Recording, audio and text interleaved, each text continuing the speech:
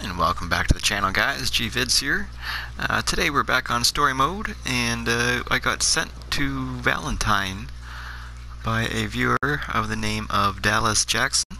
So thank you for sending me here. And uh, he wanted to, I'm sure he's been here before, I actually have not. So you're going to want to come out to Valentine.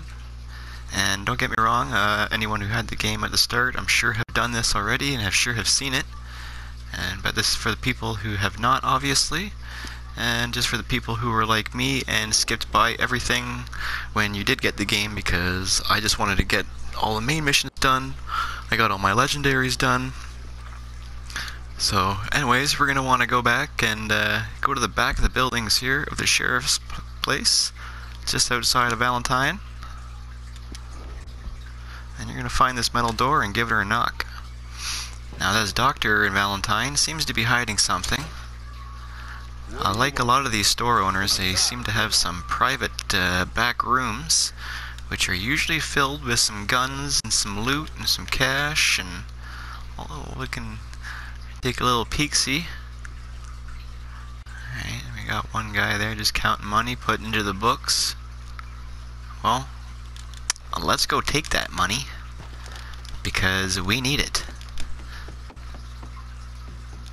So let's go in here and uh, see what this dude has to say. You're gonna let me in that back room. Sir, please, you don't want to get involved with them, I promise you.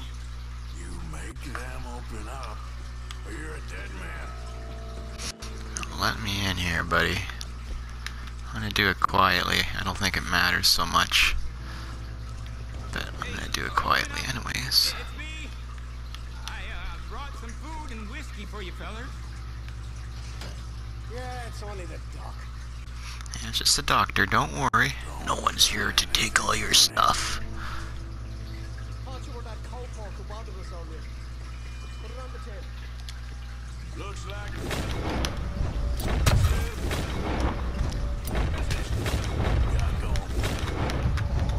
Oh, getting all nervous here. Come here, lady, you're next.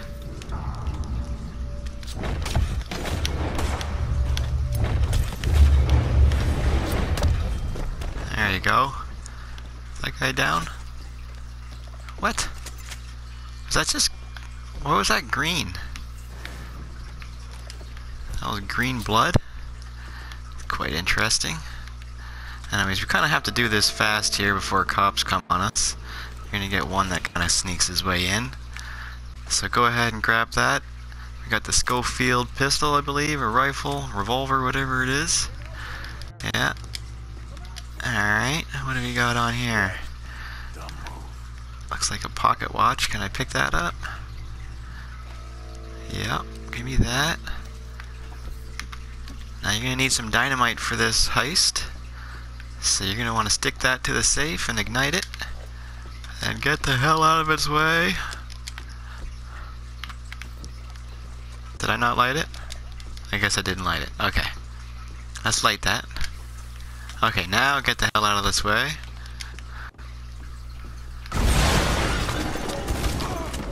There's a cop there. It kind of takes down. I'll loot this girl real fast. And uh, unfortunately, I have not done this. I don't know how to do it without getting the cops on you. So if you don't want bounty on you, do not do this uh, heist until you don't mind either paying the bounty or having the bounty with you. Oh, don't start picking people up. I get a little button happy here. I take this guy for his scroll.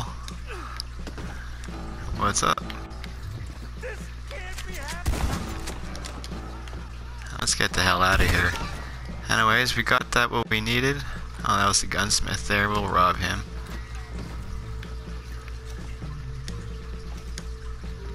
Do a little search. We got a few minutes. So anyways, guys, I really hope you enjoyed this one. Uh, like I said, I've been kind of bypassing all this stuff when I got the game. So I'm going to be coming back and doing a lot of showcasing of the career or the story mode and kind of go back and do a lot of stuff that I didn't get a chance to do. So I hope you guys enjoyed it, if you did, make sure you like and subscribe, and I'll catch you on the next one. Peace.